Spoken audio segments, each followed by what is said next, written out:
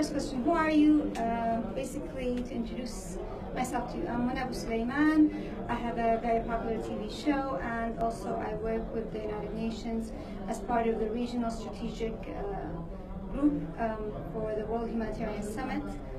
Uh, I'm a mother of two as well, um, and I have a lot of interest, uh, mainly in how can we translate academic um, journals into Arabic.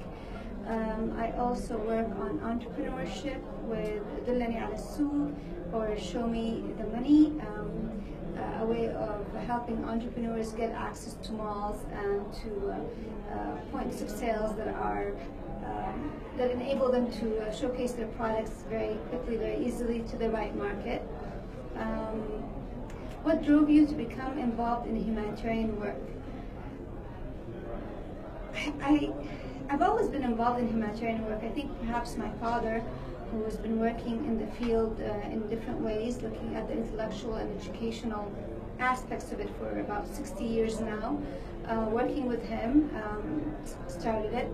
Uh, and of course, then I, uh, my own personal interest in helping people reach their potential as a teacher and as a media personality uh, enabled me to go into areas perhaps that most people wouldn't go into. Um, so about 15 years ago, I started working with um, uh, the disabled, uh, people who um, had uh, less than others, and looking at how can we actually give them dignity. I think dignity for me is a very important message um, because also as well I work with women, um, and uh, that's another group that lacks a lot of um, um, help and uh, sometimes is not treated with dignity. Why are you attending the World Humanitarian Summit? It's the place to be today. Uh, the World Humanitarian Summit, WHS, is where all the stakeholders are at. Government, um, uh, NGOs, uh, people who are displaced, um, decision makers, donors. So this is the place to be. And I was part of um, the regional group that helped bring the consultations of over 3,000 uh, people NGOs and um, uh, various groups from the Middle East and what they need um, from the World Humanitarian Summit to the summit, so I'm part of that. What is my hope for the summit? I have a lot of hopes for the summit. I think when you um, get everybody um, on board uh, to look at the refugee um, problem, no, no longer as a refugee problem but as a world problem, looking at it as uh, people who um, truly need our help. They're not poor, they're not uh, criminals, they're not terrorists. They are people that have been driven away from their homes under extreme circumstances. And how can we all come together as a world, um, world of humanity, uh, to give them the help that they need and enable them to go back into their own countries um, again, with dignity. What are my initial thoughts about the summit so far? So the plenary was beautiful. We had a lot of um, refugees who went through um, natural disasters and uh, wars come and speak very emotionally about what happened. We had world leaders uh, come and pledge. I liked Angela, uh, Angela Merkel's um, commitment. I like the way that she presented her position and uh, the strength of her commitment, as well as uh, the United Nations coming in and saying we are just a convening power, but there are uh, certain principles of humanitarian relief, of dignity, of ending this idea of helping people, but um, and changing it into ending need, um, creating systems that would not would enable us to stop the refugee uh, problem from happening again and again. What are you most interested in learning at the WHS? So um, I'm a geek. I think the innovation market is a place that I'm really interested in being at. I'm looking at um, seeing what are the innovations um, from logistics to um, uh, apps to actual products that can help save people's lives. There was this um, blanket um, that helps um, newborns uh, when they're born uh, under, you know, uh, uh, in the desert or in transition with no medical help uh, to keep their body um, temperature. and so it actually helps to get the child um, to give the child a good uh, chance to live until they reach a medical facility. Uh, there are ways of looking at how can you know if there are explosives in the ground um, and monitoring them. So this, uh, DHL has a way of uh, figuring out uh, if there's a natural disaster, how they can use their own expertise uh, to go into those airports and those points of entry and help the logistics of the other NGOs. So a lot of different ways of how we can help at a moment of disaster uh, things that are very new, things that I haven't heard of, and I'm very excited about it. What inspires me to get up in the morning? I think my kids, um, my girls. Um, I, I, get a lot of energy from my daughters, um, thinking about their future, thinking about what are the things that we can uh, do together. Um, I was just in Jordan with my daughter for her own initiative, Amal Box, hashtag Amal Box, and um, where we uh, gave school supplies to um, refugee children. And it was her first time. She's been working on this for two years, collecting the supplies and, um, you know, uh, collecting donations. Uh, but this was her first time out of six or seven different donation drives that she's done, that she was actually in the school, um, giving herself um, and seeing the children uh, who um, got those presents. And that was uh, a beautiful moment for me because helping her um, achieve her own potential, helping her figure out what she wants to do, like helping her become part of humanity, become part of um, the world, and um, helping others is my primary role as a mom. It also happens to be that I'm uh, working in this field, and so it's a double pleasure to see um, to see her doing these things. Why is the UN so important for solving humanitarian issues? Well, there aren't many bodies that are not politically um, attached. So countries have agendas. Um, the UN, uh, for better or for worse, is one of the few bodies in the world that has a little bit less agenda than others. There are issues with the UN, of course. I think the Security Council, the veto, um, the way that things um, get done are very bureaucratic. And so we would hope that the UN improves. We would hope that the UN uh, figures out how to become more effective. Uh, but until now, we don't have another body that can actually act as um, a wiser, non-politically driven uh, um, entity that can help solve issues. What more can people do to get involved in, cause, in causes they care about?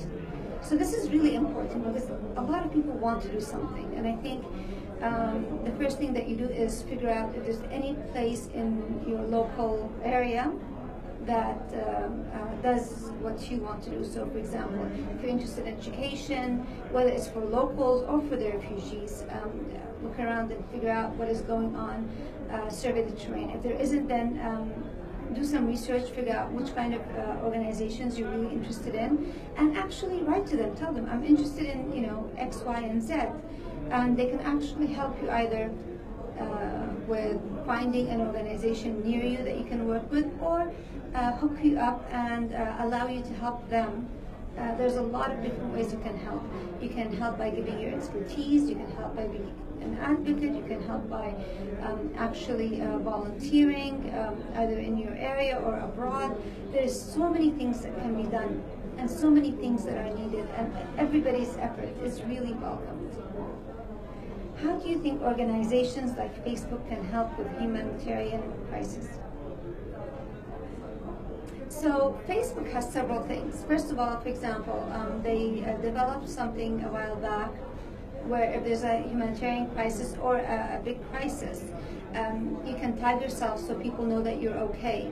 I think that is um, uh, was awesome.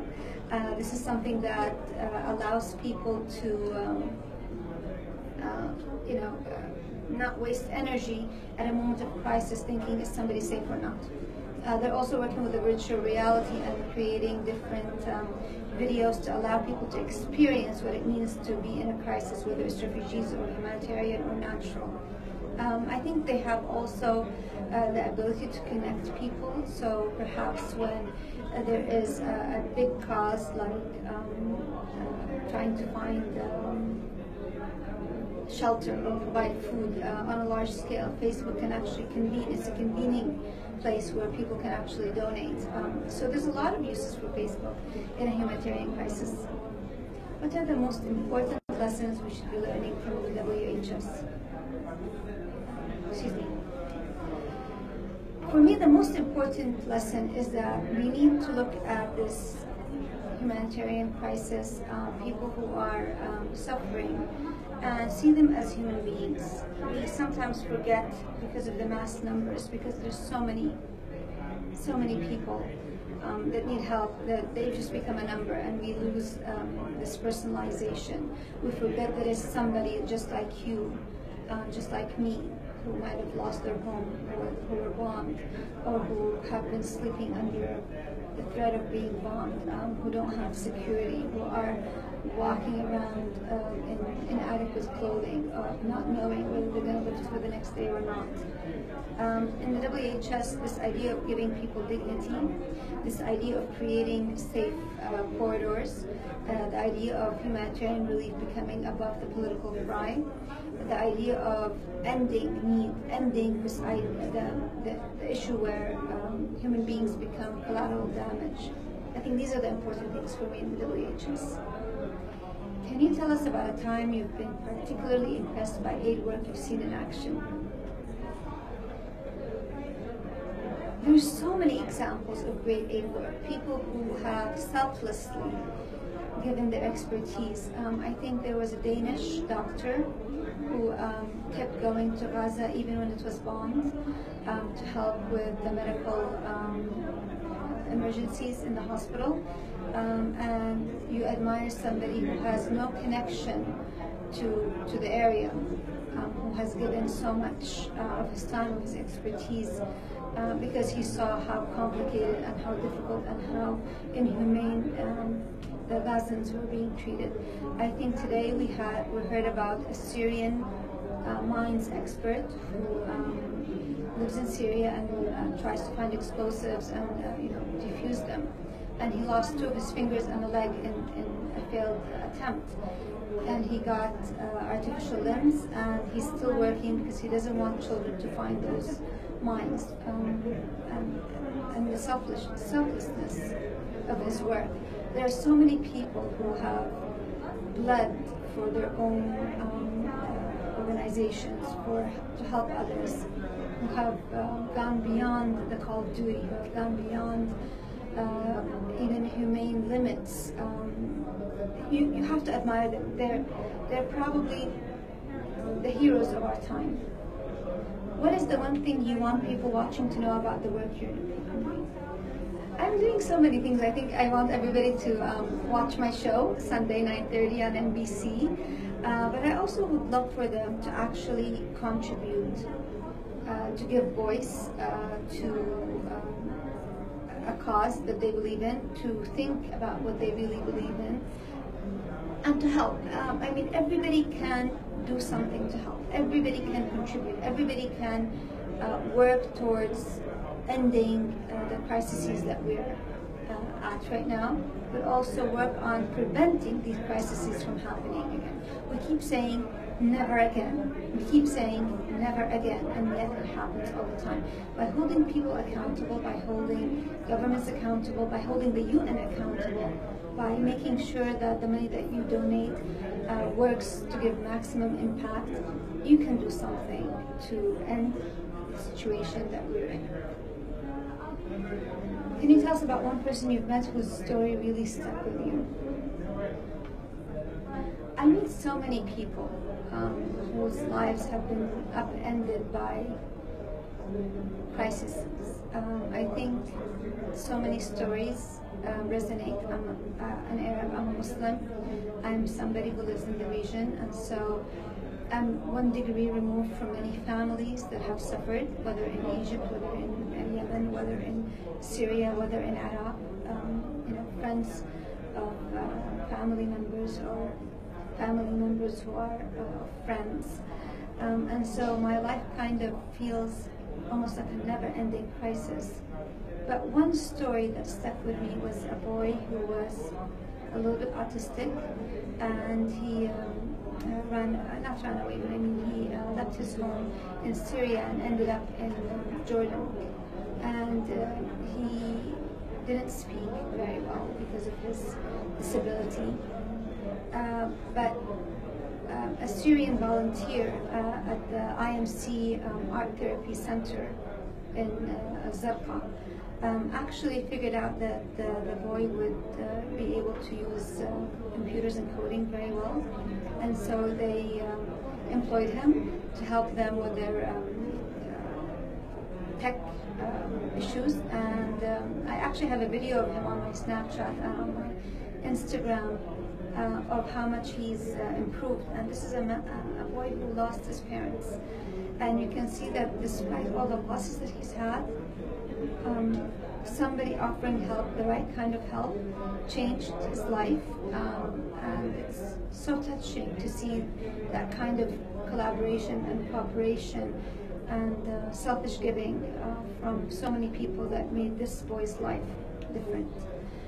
If there's one thing that could be fixed in this world, what should it be?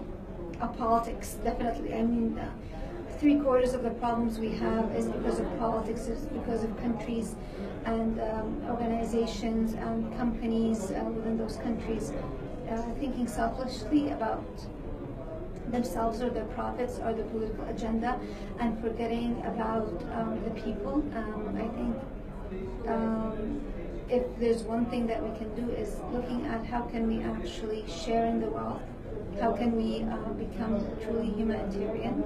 Um, I think this is a very important change. We're seeing it with millennials who are becoming global citizens.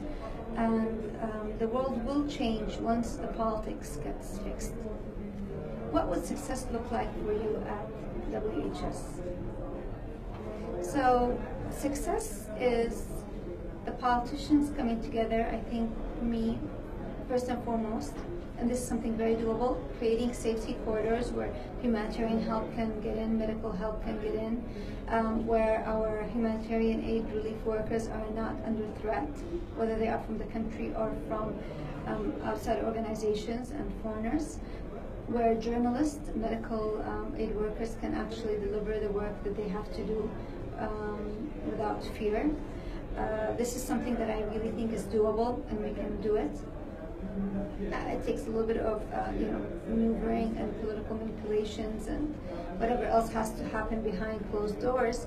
But this is something very doable. The, the second thing I would love to have is the outcome that is kind of like the dream, where we look at how can we create ways of solving politics without killing people, uh, about sharing power, um, about forgetting about sectarian uh, divides, about um, creating borders that actually are more about uh, humans versus resources.